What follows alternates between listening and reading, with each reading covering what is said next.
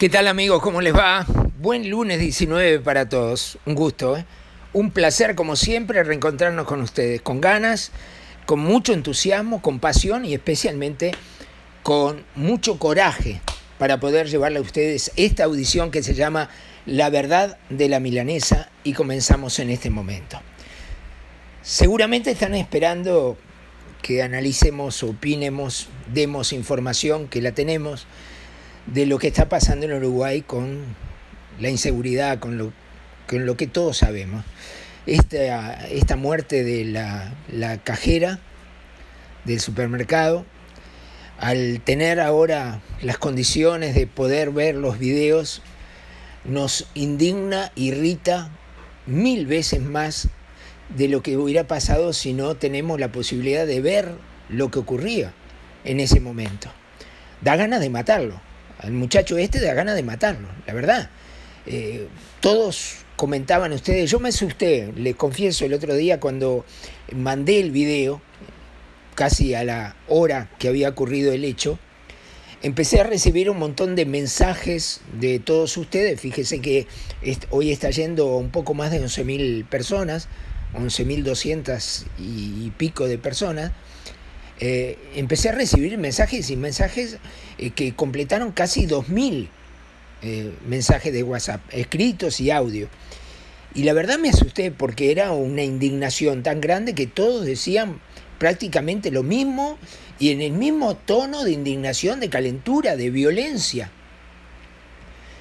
No había uno que no diga hay que matarlo. Volvió a sobrevolar nuevamente la pena de muerte que muchas veces lo hemos hablado en este programa. Y muchas veces mucha gente ha dicho hay que poner la pena de muerte en Uruguay.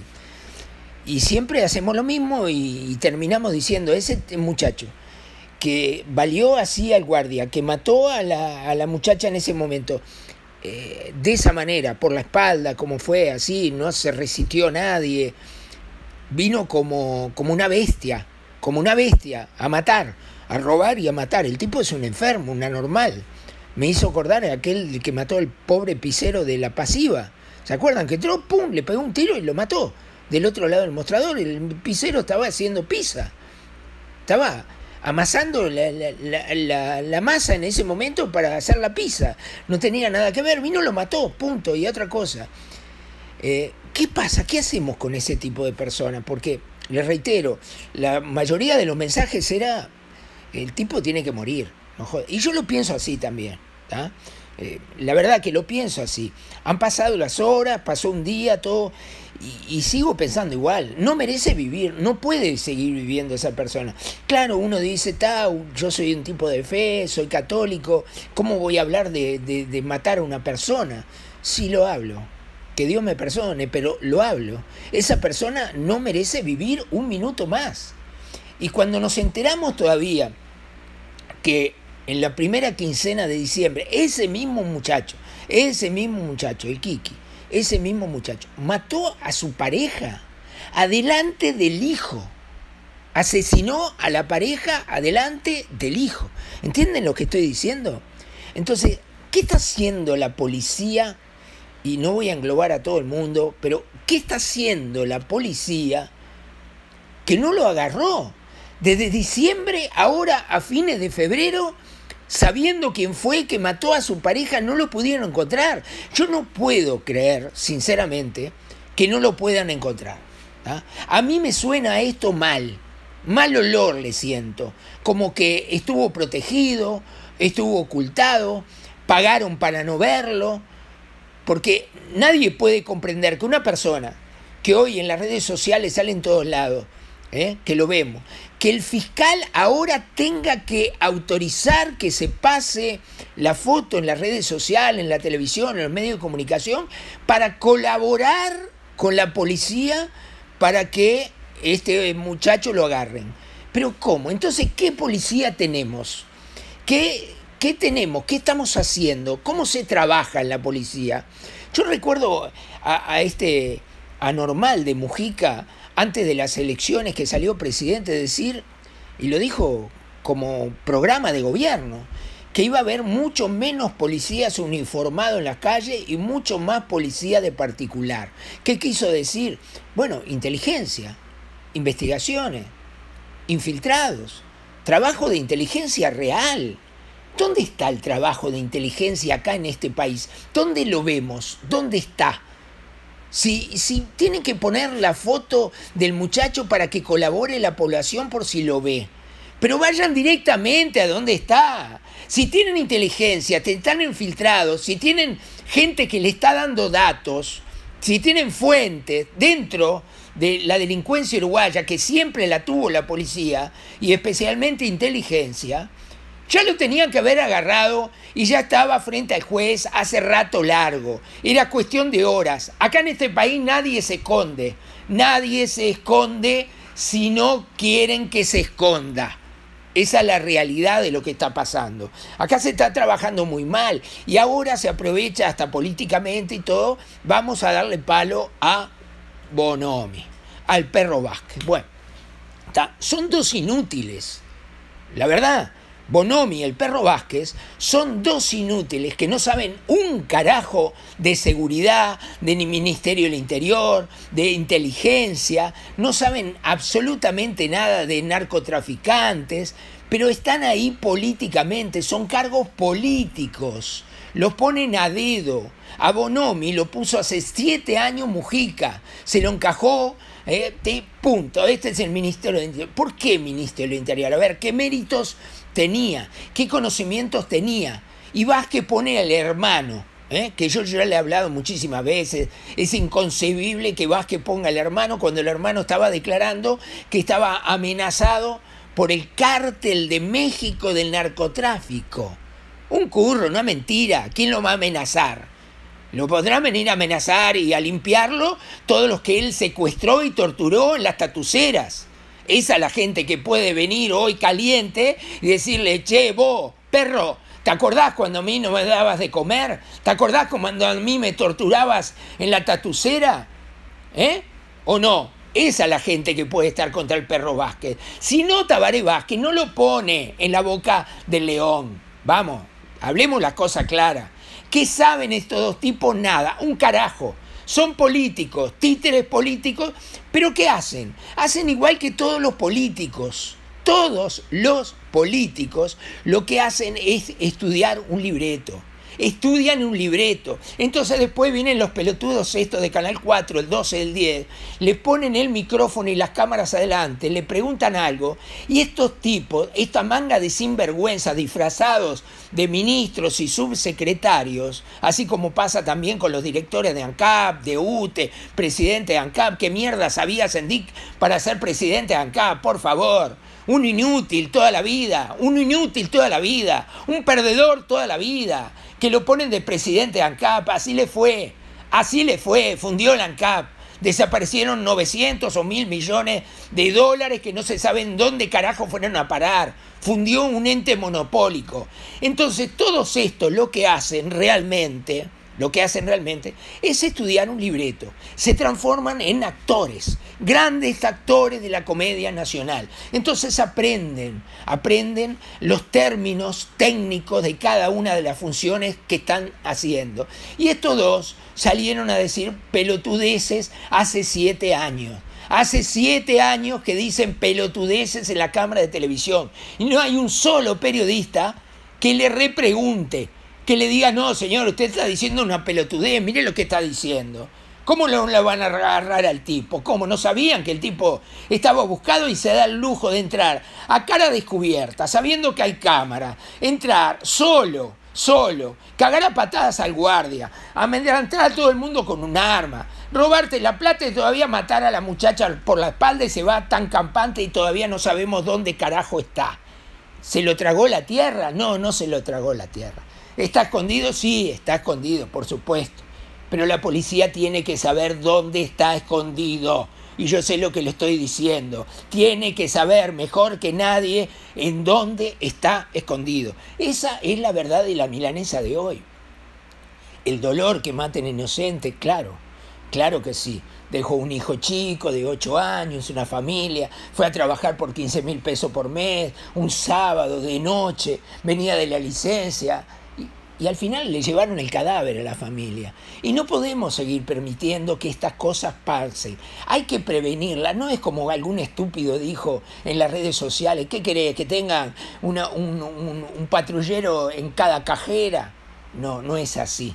Si acá se hacen las cosas bien, ese hijo de mil puta no iba a ir a entrar ahí a robar. Ya estaba en cana. Hace tiempo que estaba en cana mucho tiempo que estaba en cana. Es enfermo mental, asesino, lamentable asesino. Y reitero, aunque duela, aunque vaya en mi contra, aunque me digan lo que me quieran decir, ese muchacho, como hay tantos otros, como el de la pizzería La Pasiva, no merecen vivir. ¿Qué pena de muerte? Bueno, será pena de muerte. Pero no merecen vivir en esta sociedad. No podemos seguir teniendo gente que haga este tipo de cosas, que estaba drogado, y bueno, si estaba drogado, estaba drogado, pero no es, no es una excusa decir, estaba con la pasta base encima, no sabía ni lo que estaba haciendo.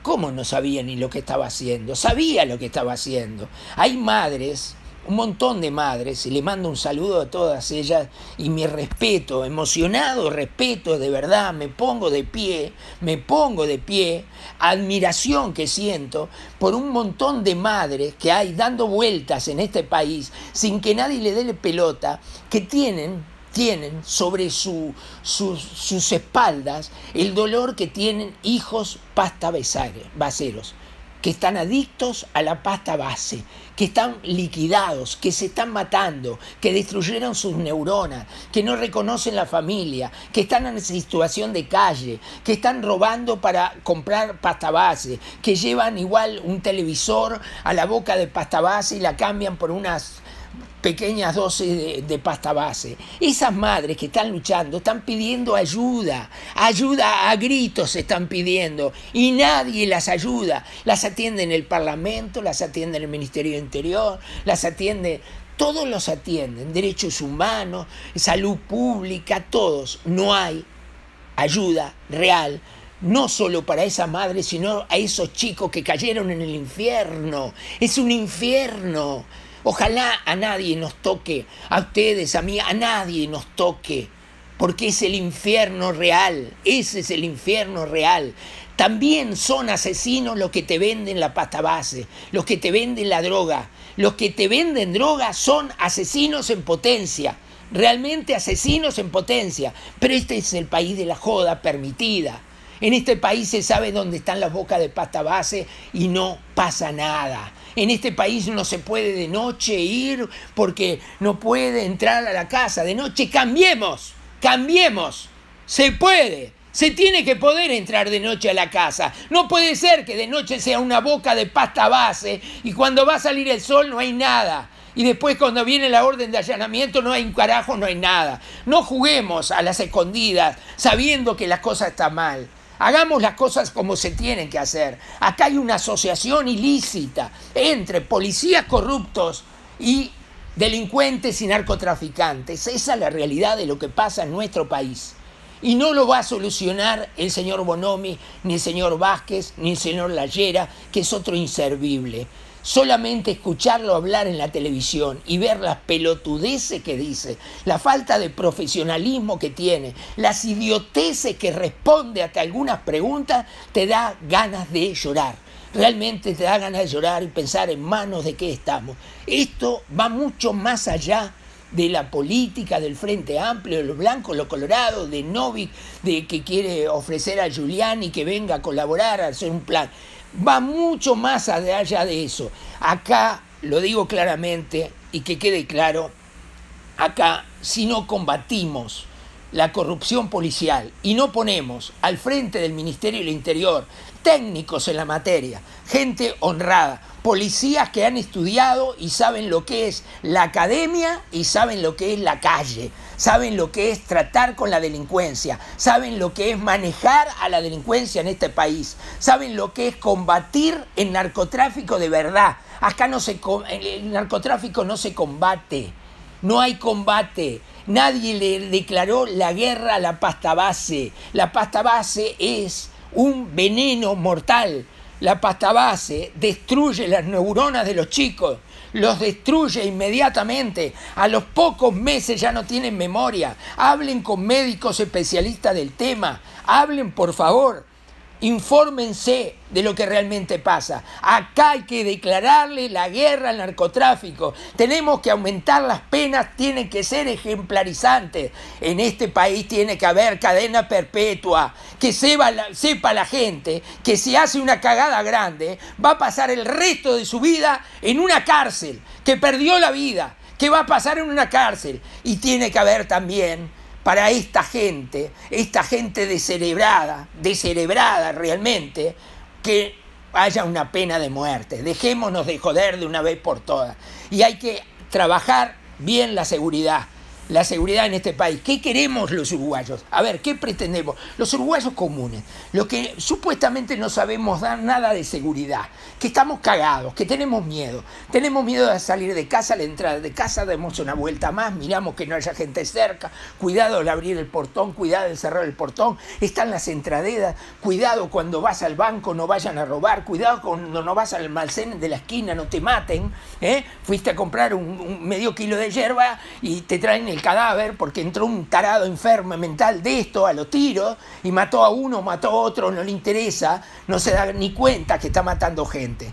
Entonces, ¿qué queremos los uruguayos? Queremos presencia policial. Nada más que eso, son dos palabras, presencia policial. Queremos milico por todos lados, queremos ronda de milico, le tenemos miedo de decir ronda porque eso pasaba en la dictadura. Déjense de joder, hace 35 años pasó la dictadura en este país la verdad. Y muchas veces estábamos más tranquilos porque pasaba la chanchita o pasaba el, jeep del ejército o pasaban a cada rato, a cada rato y se veían una cara rara, se veían algunos que andaba ahí que no era lo que tenía que hacer, le pedían los documentos, ahora no se puede ni pedir los documentos, dejate de joder, democracia es unas cosas, ser giles, ser tarados, y darle armas a la delincuencia o a los imbéciles como este que andan robando y matando por ahí, ¿eh? no, terminemos, cambiemos de una vez por todas. Queremos una sola cosa, presencia policial, respuesta inmediata y se puede lograr, esto se puede lograr. En Uruguay tenemos los elementos, la plata está, los vehículos están, todo está, las armas están, todo está. Simplemente no se hace lo que se tiene que hacer. No hay estrategia. Y miren una cosa también, que el gran responsable de esto que está pasando es el Parlamento uruguayo. Es donde las leyes no se votan las leyes que hay que votar. No se proponen las leyes que hay que votar, que hay que proponer, de ninguna manera. Ahora, al grito, bueno, muy fácil. Claro que sí, ahora al grito, ah, propongo tal cosa, propongo tal otra, propongo tal otra. ¿Eh? Queda muy lindo para la campaña electoral decir yo propuse. Yo propuse y no tenía los votos, o no me lo trataron, o está encajonado. ¿eh? No, no, no. Hacer las cosas seriamente. Para eso, reitero una vez más, hay que sentar en el Parlamento, en la próxima elección, la mayor cantidad de gente de bien, gente honrada, que no sean políticos profesionales ni se transformen en políticos profesionales que sea gente de bien. Y hay muchísima gente de bien. Y hay muchísimos jóvenes preparados de bien que hay que darles oportunidades y hay que darles responsabilidades. No son los jóvenes todos ni ni ni pastabases, ni porreros, ni cocainómenos. No, no, de ninguna manera. Ni andan todos borrachos tirados por ahí. No. Hay jóvenes brillantes, inteligentes, capaces, honestos, de buena familia, que respetan a sus padres, que respetan a sus abuelos, que saben dónde está la autoridad, que conocen sus límites. Esa es la gente que nosotros tenemos que respaldar y poner en el Parlamento. Terminemos ya con los políticos de siempre. Váyanse todos. Acá no se puede repetir. Empecemos de nuevo. Borremos y empecemos de nuevo. Que haya un Parlamento serio, expeditivo que se dejen de viajar, de joder, de gastar, de partidas truchas y que haya gente de bien. Si hay gente de bien en este país, se pueden hacer las leyes que necesita este país. Y hay que hacerlo en comunicación con los jueces con los fiscales, porque también hay jueces y fiscales excelentes en este país. excelentes, preparados técnicamente como nadie, fiscales excelentes, pero lamentablemente no pueden trabajar. Están siempre limitados por la incapacidad de los parlamentarios que hacen leyes que son inconstitucionales, leyes que están mal redactadas, leyes que hay que cambiar y que tienen que volver al Parlamento.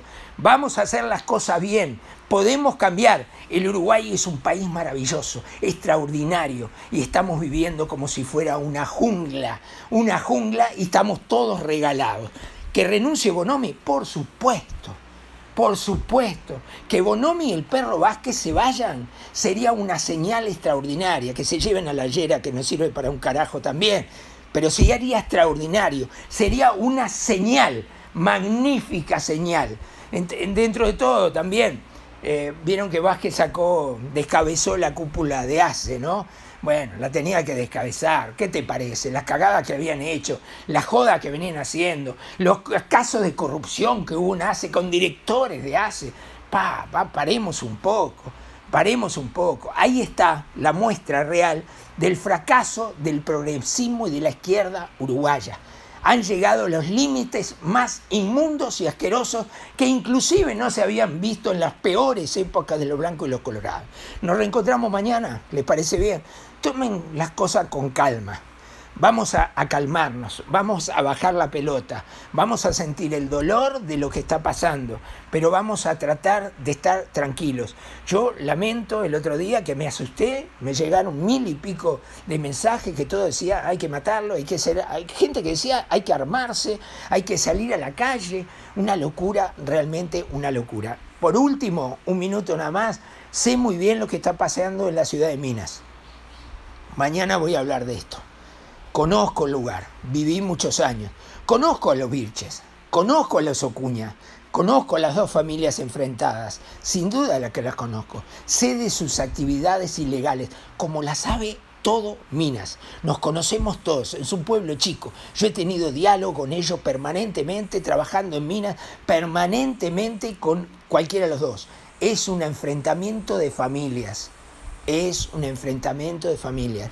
Minas es una ciudad maravillosa, tranquila, turística, preciosa, con paisajes maravillosos y no quiero que esto, esto haga que Minas se pierda la posibilidad de tener el turismo eh, local y regional que tiene permanentemente. Esto es algo circunstancial, que ocurre hace 20 años. Yo hace 22 años, cuando empecé con el Bocón, uno de los primeros temas que toqué fue la guerra de los Virches, la guerra de los Acuña. No tiene nada que ver. Yo tengo amigos Acuña y tengo amigos Virches que no son delincuentes ni son nada, no están metidos en nada raro. Acá son dos familias que se odian, que los dos hacen cosas ilícitas y pelean por el mercado. Eso es lo que está pasando. Y cuando uno mata al otro, bueno, toda la familia se viene a buscar la venganza. Están armados hasta los dientes. Acá en este país todo el mundo tiene ametralladora, menos yo parece, ¿no? Todo el mundo tiene una ametralladora. Todo el mundo tiene una 9 milímetros. Todo el mundo tiene una semiautomática. Yo no sé, ¿de dónde la sacan? ¿De dónde la sacan? A ver, que alguien nos diga. A ver, Bonomi, decinos de dónde nos sacan, tienen todas esas armas, de dónde salen, cómo entran, cómo se venden, quién las vende, quién las trae. Por favor, no miremos para otro lado. Esto es un negocio que deja muchísima plata y lamentablemente, lamentablemente, ¿eh? hay muchos que están metidos. Demasiados. Nos reencontramos mañana. Chao.